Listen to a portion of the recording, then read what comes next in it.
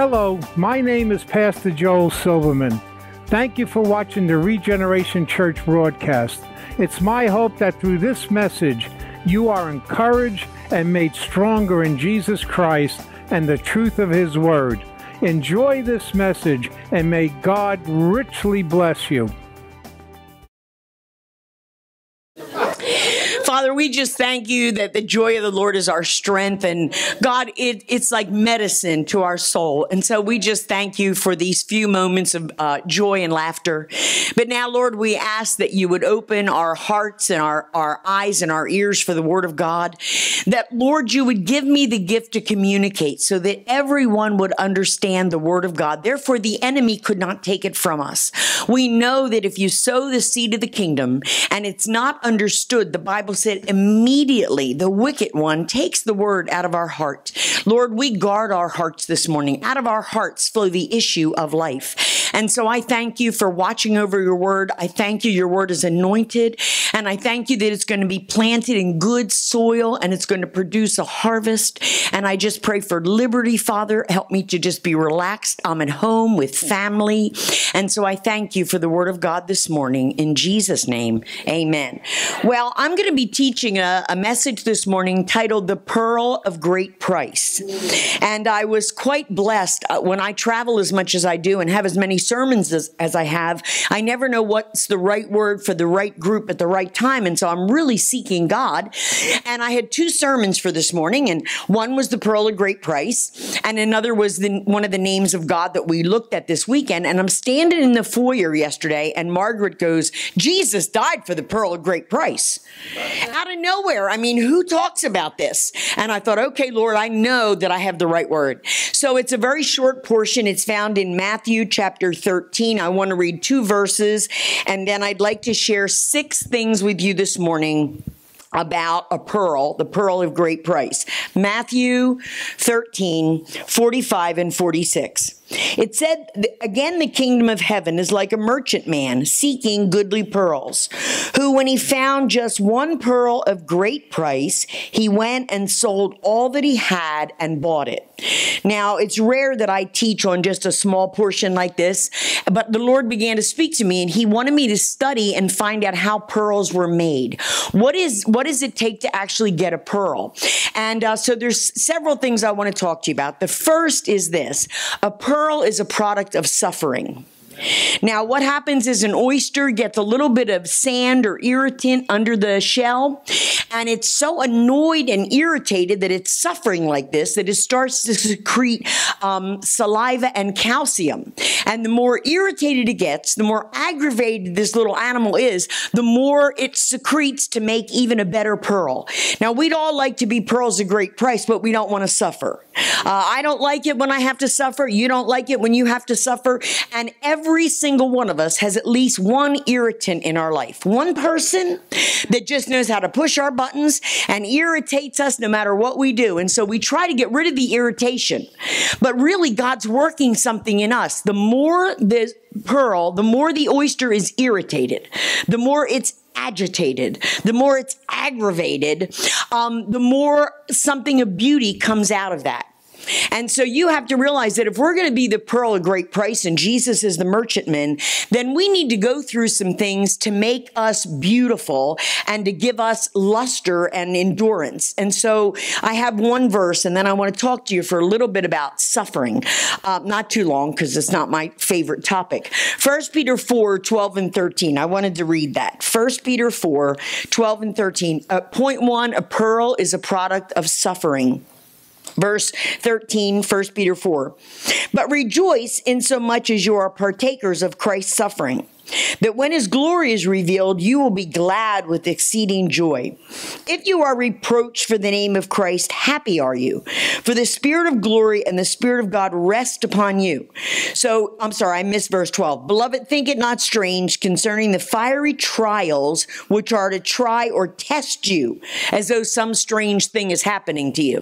Do you know all of us are being tried and tested? And it actually talks about through the suffering we're being tested and hopefully conform to the image of God's dear son. Most of us would do anything to avoid a suffering. Um, we want to walk away from it. We want to ignore it. We want to get a shortcut through it. But the way to really become a product of beauty and something God can use, we have got to go through the tests in our life. And I began to think about the testing periods. Um, and I want to just share four things that have blessed my life that I wish someone had told me many, many, many years ago when I was a much younger woman and a new Christian. No one told me these things. Here's what I want to share with you about the time of testing or the time of trial, suffering. Number one, every test is timed. For some reason, when it comes to spiritual things, we think it's never going to end. Anybody ever been in a test beside me and you just think, dear God, Lord Almighty, will this ever come to an end? God's got everything under control. He knows the beginning from the end. Matter of fact, he planned the end before he started the beginning. And so when we go through a test, when we're in the test, it feels hopeless sometimes, like it'll never end. But God's in control. The test is timed and it will come to an end. I don't know now uh, what kids do in school, but when I was in school, if we were going to be given a 45 minute test, that was it. I mean, it started at 10 and it stopped at 10:45, and that's all there was to it. We knew the beginning and we knew eventually it had an end. Please remember that in your testings with God, that He's got an end. The second thing I learned about testing, and this is very, very hard for women and men, you are not allowed to elbow your wife. But uh, the second thing is there should not be a lot of talking during the testing period. Thank you. Now, how many of you know that women process our problems by speaking about it and talking and talking and talking? I sound like a New Yorker. Women just talk way too much. Now, you know, men, I don't have to tell you who you are. You know where your cave is. When my husband has a problem, he wants to be left alone. He doesn't want to talk about it. He wants to go in his place. He wants to figure it all out. He wants to come out and fix me. Can I get an amen from the men? And so my husband is, he wants everything resolved and he wants me to get, let me just say, let me help the women here that are married who would like to stay married. Um, men don't want the details. They could care less. If I go out to a store, Macy's, and I see Mary in the pocketbook department, and I go home and say to my husband, Oh, I went to Macy's on the second floor today. I parked by the handicap parking because there was a light. And I went up on the escalator and I went to look at the pocketbooks, and I happened to see my friend Sally, and she had on the nicest Gucci coat, and I loved her boots. My husband would be livid. Here's what I would tell that to Carol, but if I saw my husband, I'd say, Oh, I saw Sally. I wouldn't even bother with the Macy's or the pocketbooks or the clothes or the escalator. Men want you to get to the bottom line. Women start at the finish. If really now, if they're willing to hear some of the details, help yourself. But I have learned after being married 48 years, my husband is not into the details. He wants to be left alone when he's in a test. He wants to be. He wants me to be quiet so he can process how to fix the world. And all the men said. Amen. So, number two, no talking. Now, that doesn't mean you can't share a prayer request with a friend, but women tell the same problem to different women on a daily basis. Do we not? And no one can solve our problem but God. However, we love to tell it. And what happens in a time of testing is the more you tell it, now I might be the only sinner in the house, but the more you tell it, the more embellished it gets. My son said to me, Mom, that's the book of elastic. He said, You stop preaching the Bible and you're preaching out of the book of elastics. He goes, That's a stretch. That's a stretch. So I've had to gear it back, try to stay focused because women have a tendency to embellish. It just doesn't it get bigger and better every time you tell it? And uh, sometimes we're hurting ourselves by doing that. So during testing periods, the test is timed. Number two, there shouldn't be a lot of talking during the testing. And number three, you can't cheat your way through this test. You might have been able to get away with it in school. I was the world's worst cheat. You know, I haven't always been saved. Hallelujah. And I remember uh, when I was trying to learn my times tables, I bought masking, not masking tape, medical tape. You know the tape that comes in a metal circle because it sticks to the back of people's clothing. So I wrote all my times tables except the two. I could handle the two times table. And all the people in front of me, I stuck the masking tape, and and I just had no problem during the test because there were all my answers. Well, let me tell you a true story about cheating that hurt me. I got away with that one. The next one I didn't get away with. I'm a senior in high school, and they tell me I have to take my SATs, and I said, "Why? I'm going to go get a man. I intend to husband hunt and get married as soon as I graduate. So if I'm going to get married and I'm not going to go to college, why do I have to take the SATs?" And they said, "It's a state law. You must take your SATs." Well, they put us in an auditorium that was on a slant. Bad move. Bad move. Because that meant I could see all the answers down below me. And there happened to be five young men in the row in front of me. Now, I didn't cheat until I needed to. When I got to the mechanical arts, I was totally lost. So I looked down and I took one from column A and I took one from column B and I just filled in all the blocks. Well, they send it away to the state of New Jersey. That's where I'm from. And it takes a while. And I don't know, six weeks, couple months later, the guidance counselor calls my father and they want to set up an appointment with my mom, my dad, and me. Now, I knew I was in trouble, but I had a lot of pokers in the fire, so I wasn't giving away anything. I thought, let the chips fall and I'll find out what I'm caught on. So I get in the back of the car. I don't say a word. We drive to the high school. There's the principal, the vice principal, the guidance counselor, my mother, my father, and me. And they all shake hands, you know, all the formality of it all. Finally, we're sitting there, and the guidance counselor says to my father, or the vice president, You know, George, may I call you George? He said, Yes, you may. Said, George, in all my years in education, we've never had a girl as gifted as your daughter in mechanical arts. I scored a perfect score. And they called me to talk about a scholarship to be an architect. And I just started bawling, No, no, I can't go to college. I don't even know my timetables. I can't be an architect. And so I realized that day that cheating doesn't profit anybody. Now, you know, the, we'll tell our kids that, but how many of you, know the purpose of a test really is to just show you where you're strong and where you're weak so you can improve. The fourth thing, number one, uh, every test is timed. Number two, minimal talking, please. Uh, number three, uh, there's no cheating. But number four is my favorite of them all. You can get any answer when the test is over. Isn't that marvelous? Do you understand that once the papers are collected, you can go to your professor and say, What was 35A or what was page four? And it's the same with God. Haven't you found that when you need to hear Him the most, at least this is my experience, when I'm in a hard testing period, it seems to me the heavens are closed. I, I don't hear anything, maybe because I'm too self absorbed with my pain or my challenge. But I have found that when it's over, and I think I could get some testimonies this morning, when it's all said and done, and you look back, boy, can you see the the hand of God in every single thing you went through. But during the testing, you can't get the answers. There's no answer given till the test is over. So remember that a pearl is made out of a test, or we are made out of testings and trials.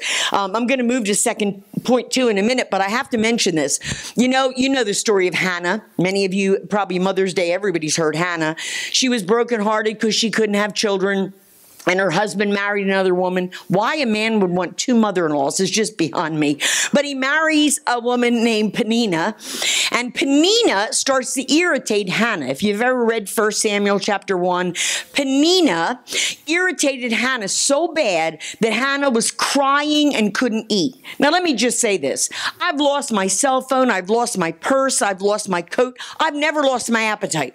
I don't know what it is, I don't know what it is to not be able to eat eat. But she was crying. She couldn't even eat. And Penina, verse 6 of 1 Samuel 1, said her rival provoked her sore. Now, you know what's interesting about this? The name Penina is pearl, means a pearl. And she certainly was an irritant to Hannah. And the name Hannah means grace. And what God said to me is if you want to be a woman of grace or a man of integrity, you're going to have to have an irritant come alongside you because we all need work. We all need fine tuning. There's, there's edges on all of us and only an irritation is going to get us to deal with that because we don't want to change. I mean, if I can be perfectly honest, if it ain't broke, don't fix it. And so God brings this Penina and she just starts. Number two, Number one, a pearl is a product of suffering. Number two, and this is, I love this point, a pearl is made from waste and junk material. A pearl is made from waste. All of a sudden, a dead fish's bone, a small piece of bone will get under the shell, or uh, piece of uh, a twig or something something not usable something wasted is what makes the pearl. And i got thinking about all the people in the bible who god used and they became pearls of great price but boy were they a waste in the beginning of their lives wasted material. And so i'm just going to share for maybe five minutes. I love this so if i get longer uh, you just you don't have a hook do you? Okay good. Um, i just want to take a few minutes. So that when you leave this service this morning you'll know that no matter what you've done, or where you've been or how short you've fallen, that God still can redeem you and use you like you could never imagine. Never imagine. So let's start with Moses. Uh, Moses kills a man with his bare hands. And of course, we're so desensitized now with videos and TV and games, you just go and they tap out. It takes a lot to kill a man with your bare hands takes a lot of rage and a lot of anger. And he's defending his nation because a Hebrew was beaten, a, uh, a, uh, Egyptian was beaten up a Hebrew. So he kills the man with his bare hands. He buries his body in the sand, right? I want to say, no, I was going to say it was not a pyramid. I'm sorry. Anyway, he buries the guy's body in the sand. And God, he has an encounter with God. And God takes Moses to the mountain, the murderer, Moses, takes him to the mountain and says to Moses, I'd like you to write this as I dictate to you. Thou shalt not Anybody want to help me here? Kill. Can you imagine how Moses felt writing, Thou shalt not kill? Whoops. Been there, done that, didn't get a t shirt, but I'm a murderer. I killed somebody. So here's our great deliverer. His history in the beginning is he's a murderer. Then we move to his wonderful brother Aaron. Now, Aaron uh, is Moses' older brother. And while Moses is up in the mountain writing, Thou shalt not kill, all the people come to Aaron in the in down below and say, Listen, you got to make us a golden calf. We have to have something to worship. We've been 400 years in Egypt and we've worshiped all these idols and all these statues. We need something visible that we can worship. Make us a golden calf. So in Exodus 32, verse 4, Aaron says, says, Bring all your golden earrings. Verse 4 said, He put the gold into a pot, a crucible. He melted the gold. He fashioned and formed a calf. So now they're all drinking and dancing and partying and, and they're worshiping this golden calf. And Moses comes down and he sees this and he said, Aaron, what have you done? And I happen to love verse 24. Listen, verse 4 is where he forms it, shapes it, and fashions it, Exodus 32. But verse 24 is a classic. Moses comes down and said, Aaron, what have you done? He said, I don't know. I put gold in the pot and up jumped a calf. Ah. really? That's what he said. I put gold in the pot and up jumped a calf. So our brother Aaron, who became a priest in the line of the lineage of Levi, our first high priest Aaron, was an was an um, idolater, right? We have a murderer. We have an idolater. Let's not forget their sister Miriam. Let's give equal rights. So Miriam, their sister, uh, in Numbers 5, doesn't like her sister-in-law, and she's jealous of God speaking to her brother. And so she, out of her jealousy and envy, gets smitten with leprosy. And do you know Micah 6 4 said, I set before you in leadership Moses, Aaron, and Miriam? And I think all three of them struck out. Don't you? And I'm glad I might have struck out, but I'm still in the game. Are you with me? I'm still in the game. So we have Moses the murderer, Aaron the idolater, Miriam who's jealous. Let's talk about Noah. Noah was a drunk. He needed AAA. Or no, double A. What is it they go to? Wait, somebody help me here. AA. I, that was an honest slip. He needed AA. I mean, the guy was a drunk. And yet the Bible talks about Noah being a righteous man, Noah the drunk. Then we have Lot. Now, there's no children. They all went to children's church, so I'm free to be a little bit, uh, I can be more mature. But Lot, after Sodom and Gomorrah was burned to the ground in Genesis 19, Lot and his two daughters escape. And they get Lot so drunk that he has sex with his daughter and he doesn't even know he did this. Man, that is drunk. So she has her dad the first night, incest, and the younger daughter says, Well, it's my turn. So they get him drunk the second night, and she goes in and sleeps with her father, and both daughters get pregnant. When I teach young people, I warn them one encounter can do it. Don't think you have to be sexually active for months to get pregnant. These girls slept with their dad one time and they both got pregnant. And if you know the story, they birthed two of the worst enemies of Israel that ever were born Moab and Ammon, the Moabites and the Ammonites. But could you imagine having sex with your daughters and you're the you're the grandfather and the father at the same time and doesn't the New Testament talk about Lot being vexed, his righteous soul? So when he got so drunk, he impregnated, or is that a word, impregnated? He, yeah, he got both his daughters pregnant. That's our boy Lot. Then we have Jacob. Liar, liar, pants on fire. Jacob is a downright liar and he deceives his brother. He deceives his father. I mean, the dude was bad. Uh, the name Jacob means deceiver, trickster. Uh, and that's exactly what he was. He dresses in his brother's clothes and he goes into the old dying man and said, Dad, I'm your firstborn Esau. Ridiculous. Had to run for his life. And so you remember the God of Abraham, Isaac, Jacob? Jacob did not have a good beginning. Now, you know what happened. Jacob married two women. So I'll bring Leah into this. Leah was not attractive.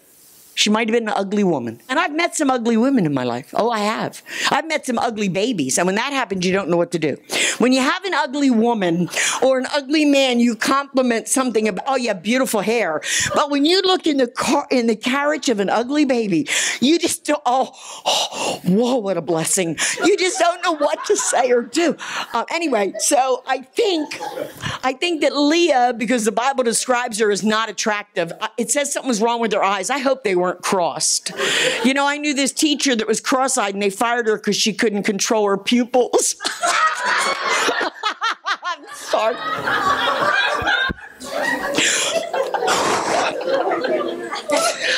Joseph. Um, Joseph had a really hard childhood, hated by his brothers, sold into slavery, um, ended up in prison. I mean, the guy's got a record. And yet, God used Joseph. You know, I'll tell you something funny. Um, years back, I was teaching a Bible study, and I was saying something about Joseph, and I said, How many of you have been in prison? And hands went up all over the church. And I thought, you know, that's a question you need to delete from your resume. I'm not going to even ask. Uh, and so Joseph was in prison. I know, you know, Gideon was filled with fear and hiding. God can use afraid people, can he? He can use drunks. He can use, oh my God, where would we be if we had to be perfect and pure and clean? We can't do it. We needed a savior. And I'm just awfully glad that God uses waste material, aren't you? The Moses, the Aaron, the Miriam, the Joshua, the Josephs. So then we get to um, Samson. He was a womanizer. Rahab was a prostitute. Jeremiah and Timothy were told they were too young for ministry. Abraham was told he was too old. Elijah was depressed and suicidal. Job went bankrupt. How am I doing, y'all? Um, after Job, we have Jonah who ran from God. Mary Magdalene had seven devils. Peter denied the Lord three times. But to me, the worst of all this as I read through these people is the one time that Jesus asked for prayer. Now, if I'm wrong on this, please correct me or come and see me. But in my understanding of the New Testament, I see Jesus praying for multitudes. Luke 4 40 said he prayed from the time the sun came up till the sun went down, prayed for every person, laid hands on every person. I don't know of any time Jesus ever asked anyone to intercede for him except the Garden of Gethsemane. And he said, I am in agony. And he turned to his disciples that he'd poured his life into for three years. And he said, Would you please watch and pray with me? I'm in the greatest battle I've ever faced as the Son of Man, and I need prayer and intercession. Do you know what the disciples did? They fell asleep, not once, but twice. And it make it, it it affects my emotions when I tell that story because I don't want to fall asleep on the Lord. And I thought, my God, you still use them to change the whole world. And yet, the time you needed them the most, they, they went to sleep. And then, after the disciples fell asleep, obviously, Martha was a worrywart. The Samaritan woman uh, had at least five husbands we know of. Paul absolutely needed anger management. There's no question he was a maniac, a madman. Paul, and so Zacchaeus was too short and Lazarus was a dead man. So my word this morning is if God can use these people, don't you dare think he can't use you. Don't you listen one minute to the lie of the enemy because of this or that in your past, God can't use you. He recently said something to me that's very precious. He said, Gwen, I was having some challenges with my daughter. She is now in therapy and it's probably my fault. And uh, so my adult daughter is in therapy and sent me a text that she doesn't want to speak to me. And that was very hurtful and painful. And um, she said, I'll tell you when I'm ready to talk to you. She said, but I have too many issues from my childhood. And so I don't know why I'm telling you this. There's a reason. Holy Spirit, bring it back to my memory. Wait a minute. Oh, I know what it was. So I was hurt that I messed up her childhood and, and she's got all these issues to deal with. But everybody has issues. How many of you know? God was the perfect parent and both his kids messed up right? It took me off the hook. God was the perfect parent and both of them disobeyed. Yes? So it isn't always 100% the parents, but I'm going to take some credit for this that I, I, didn't do the best I could have for her. But anyway, she's in therapy and now she's not speaking to me and she'll text me when she's ready to talk to me. And I was crying about it and praying. And this is what God said to me He said, You can't get a do over, but I can give you a makeover. And I'm holding on to that, that we're going to have a makeover, my daughter and I, not just I can't go back and do it over. But thank God he uses us even with our sin and our weakness. So Matthew 9, here's the verse I have for point 2. A pearl is formed out of wasted material. Matthew 9, 12 and 13. On hearing this Jesus said it's not the healthy that need a doctor but the sick. Go and learn what this means. I desire mercy not sacrifice. I have not come to call the righteous but sinners. Aren't you glad this morning that God called you right where you were and now has anointed you and used you, and you are not what you were, and you are not what you're yet to be. Um, I'm so thankful to God. I really am. I don't want to talk a lot about this, but I was an out of control alcoholic. I mean, drunk for three, four days at a time, lost weekends. And I remember, I guess I'm supposed to tell this, is not something I'm proud of. But um, this was before I was saved. And I remember one night I woke up and there was uh, throw up all over the bed and all over the floor. And my husband said, I saved your life last night. He said, You were so drunk that you were throwing up on your back, and I was worried you were going to aspirate. Is that the word? Which will kill you. If that goes in your lungs, you die. And he said, I grabbed you by the head and I rolled you over and I threw up all over the floor. And he said, I'm not cleaning up for you one more time. You take care of it.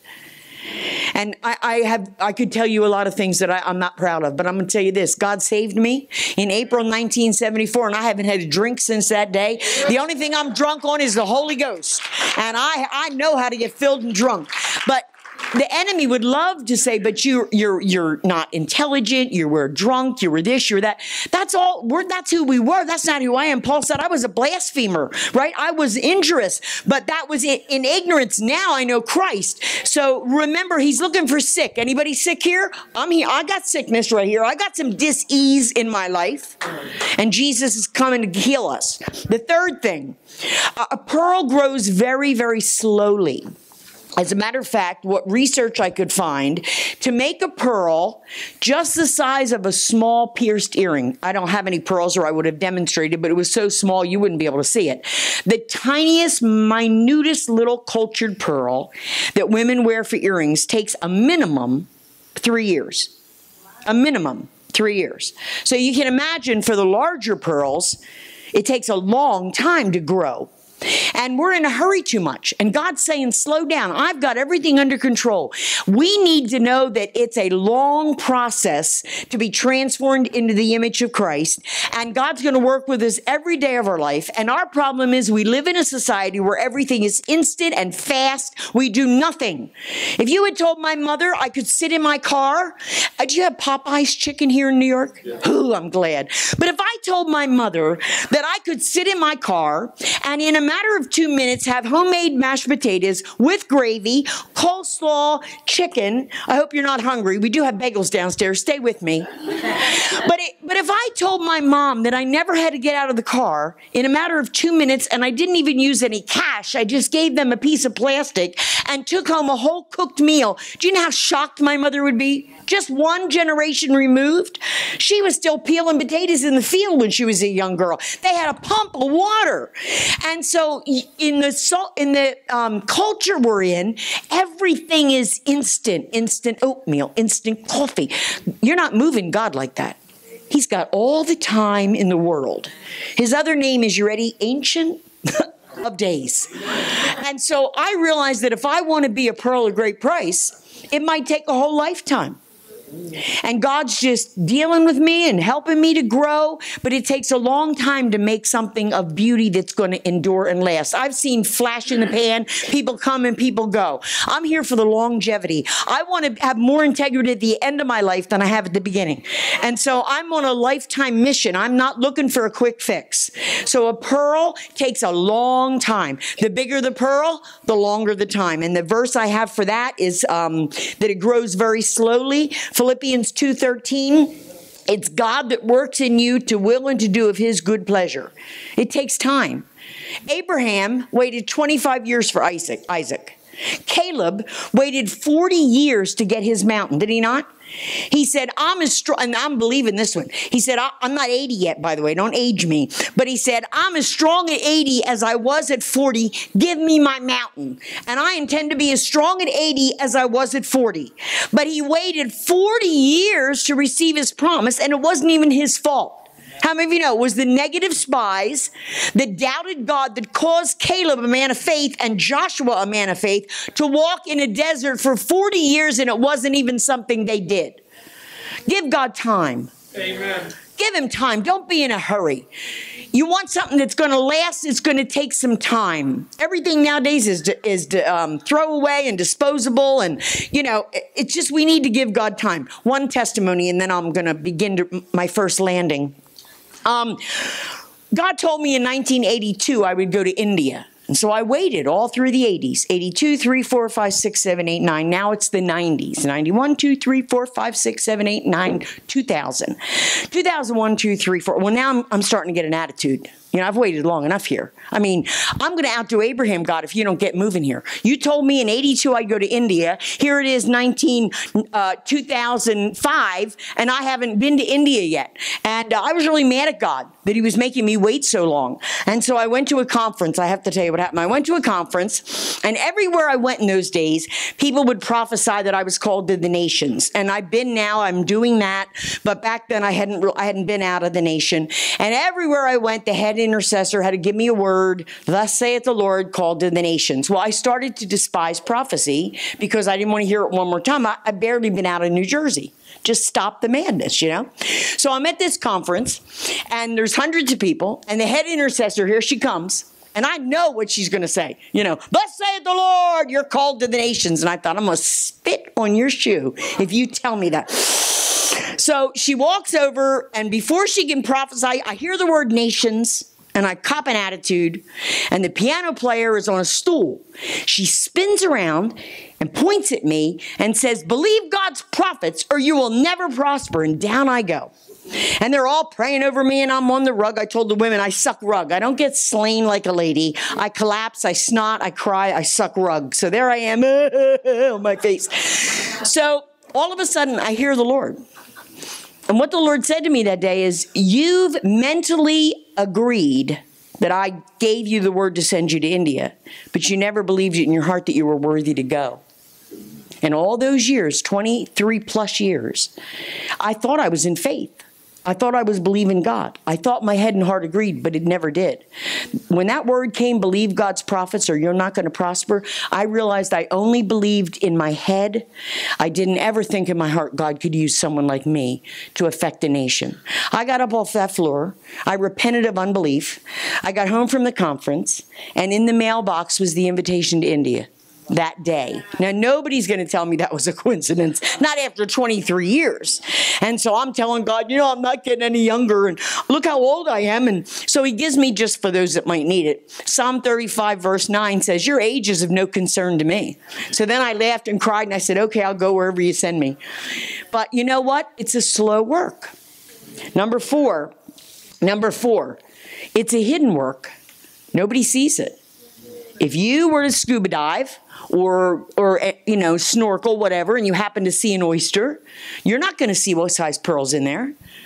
It is not visible to the naked eye. And how many can, of us this morning can say the deepest work of God that He's done in my life is behind the scenes? It's not in the church or at a Bible study or at a retreat. The deepest work that God has done in my life has been when I'm alone and I'm feeling lonely and unloved and it's just me there and he's trying to work something into my heart and out of my life. It's a hidden work.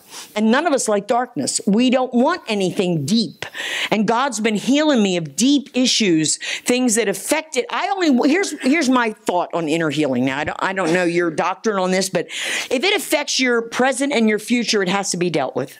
But we don't have to go back and dig up every awful, ungodly thing that we ever did or ever happened to us, unless it's affecting our ability to live for Jesus and to have hope for a future. But I've had things hidden that I didn't want anybody to know. And God has slowly and surely started to bring to light hidden things. I'm not saying sin that I'm practicing. I'm talking about hidden things in the past. It's a hidden work. And I'm going to tell you this because I feel like it. I don't normally share this one either, but here you go. I had a problem. I was saved and I have a wonderful husband, but I had a job work intended to which meant he wasn't home when I got dressed for work, which meant I could buy a whole wardrobe and hide it from my husband. So I worked in a dress store. Can you imagine? So I had a dress for every day of the week. I had matching purses. I had matching shoes. I hid my clothes in my son's closet. I hid them out in the garage by the water heater. I had a rack in the car. My husband didn't have an, any idea I had all these hidden clothes. And so this one day I'm reading the Bible and I read about a guy named Gehazi uh, in Kings. He went after Naaman. I think it's Second Kings 5. Naaman the leper gets healed and Gehazi runs after him and says, the prophet sent me to get some clothes. Anybody familiar with the story? Or it's a lie, you know. So he gets all the clothes and he hides them in his tent and he gets leprosy. And I read that verse and I'm thinking, oh my God, I got all these hidden clothes. I'll be a leper for life. There's not a colony big enough. And so I start sobbing and crying and, my, and I get all the clothes out. God says, get them all. Get them out of every closet. I hung them down the steps on the banister. I hung them in the kitchen. I hung them on the china cabinet. And my, I mean, I must have had, I don't want to exaggerate or elasticize. I'm going to say 30 dresses maybe that my husband didn't know about. Some of them had tagged, some of them didn't. He walks in the front door from work and I go, I'm a leper. I have leprosy. Call me Gehazi. He said, What is wrong with you? I said, Look. so here's all these clothes, right? So he forgives me. Oh, it was a riot. He forgives me. And he says, Now, Gwen, here's what we're going to do. Anything you've worn, you can keep. But anything with the tags on it, I'd like you to take it back. So I did that. So fast forward with me 15 years. I'm at Blue Mountain Christian Retreat. I preach there every summer, and I'm preaching about Gehazi on purpose. I was doing Bible characters, and I said, I told the story about how I used to have stuff hid, and I said, I have nothing hidden from my husband. And then I went, well, I have one dress from Macy's. I said, but it's in the car. He'll never find it. My husband was watching live, live stream. So I get done preaching, and this is the text I get Be sure your sin will find you out. I am on the way to Macy's returning this dress. God have mercy on your soul.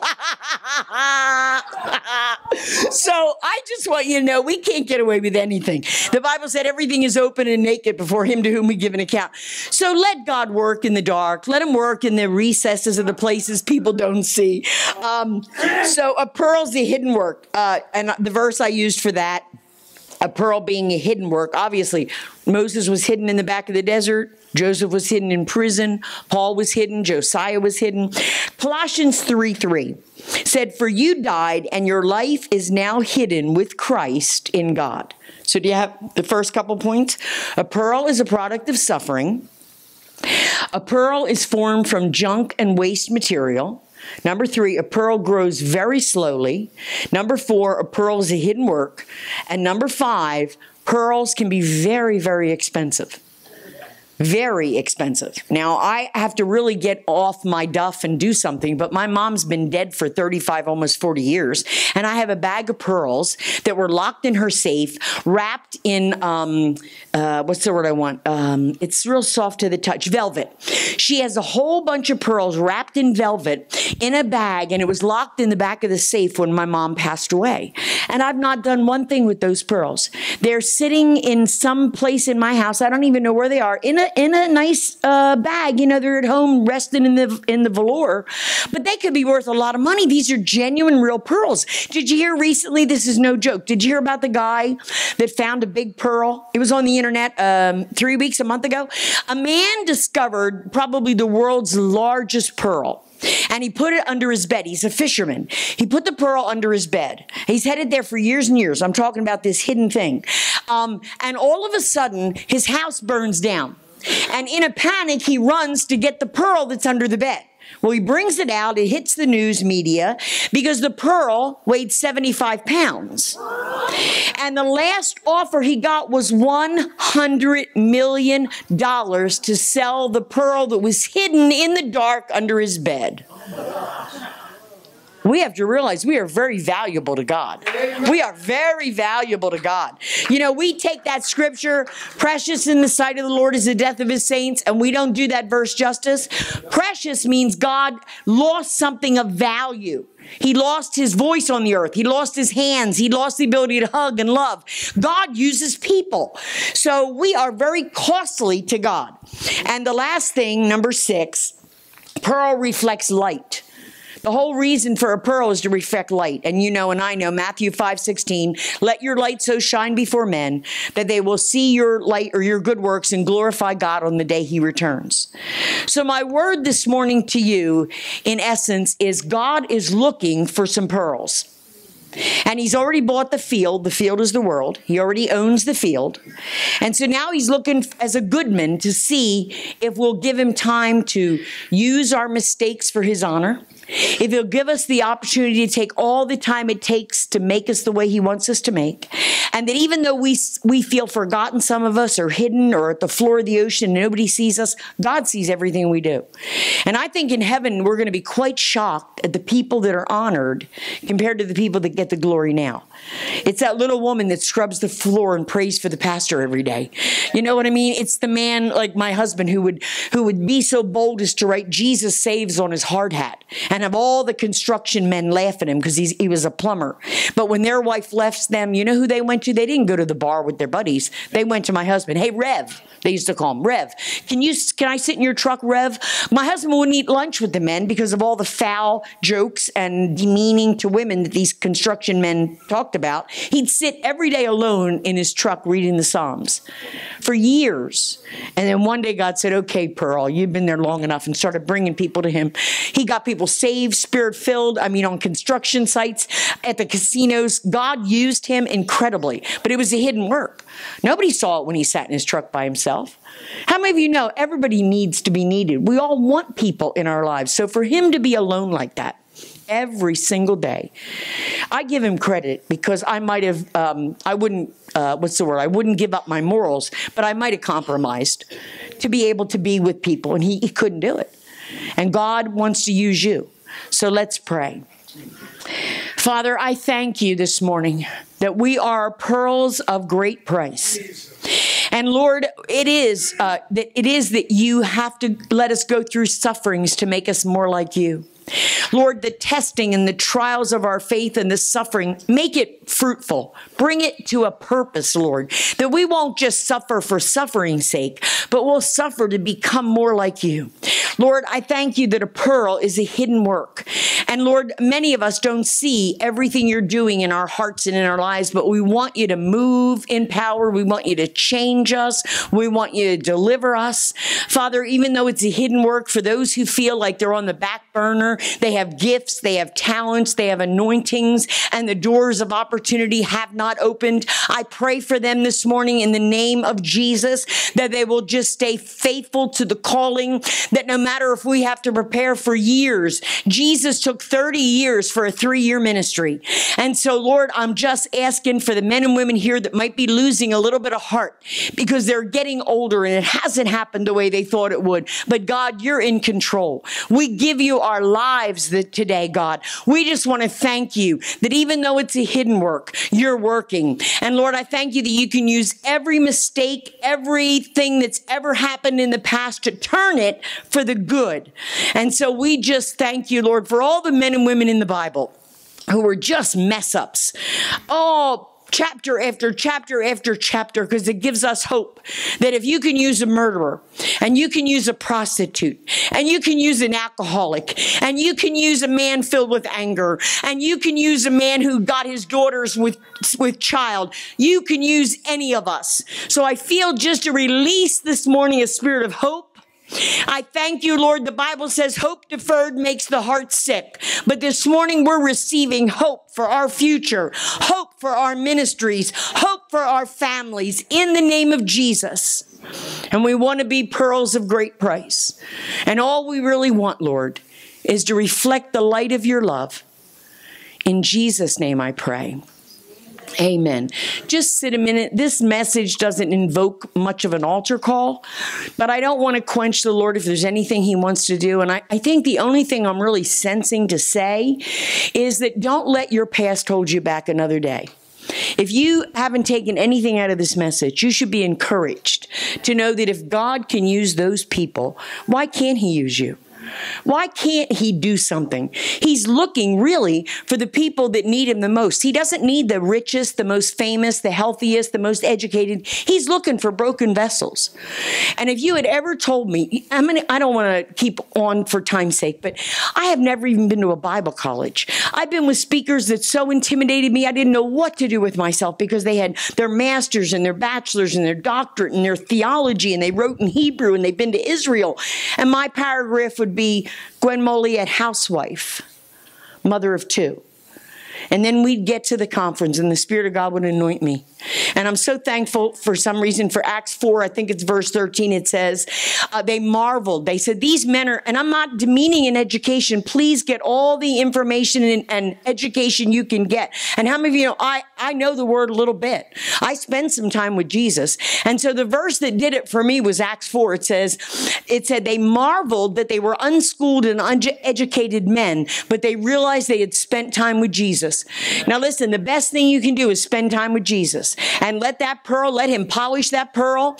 And then you come out and you wear it proud and strong. And the last thing I want to say is the, and I didn't put this in my notes, but it's really important. The pearl, you ready, is the only gem that cannot be divided.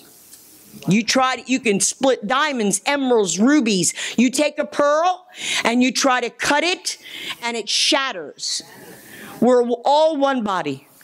We are all in the same field. We are all in the same oyster. We are all one pearl, whether we're white, black, young, old, Methodist, Pentecostal, it doesn't really matter. We reflect the light of God in our lives. Would you stand with me this morning? I'm going to dismiss Pastor. Father, we just thank you for the word of God this morning. And we were hide this word in our heart. I pray for every one of us when men walk by a jewelry store or they're in a mall and they see a strand of pearls that we will remember that that's what you're making us. And you're going to put all these pearls in the same strand, regardless of our denominations, regardless of our affiliations, because the blood of Jesus has made every one of us white and he has knit us together in one body. And so we just thank you for the word of God this morning. In the name of Jesus, we pray. Amen. We hope you enjoyed today's message. If you would like to hear more, we encourage you to visit our website at regenerationchurchny.com. So if you're ever in the area, please stop by. We'd love to have you at our Regeneration Church Sunday service or our tender-hearted message. Again, we thank you for watching and may God richly bless you.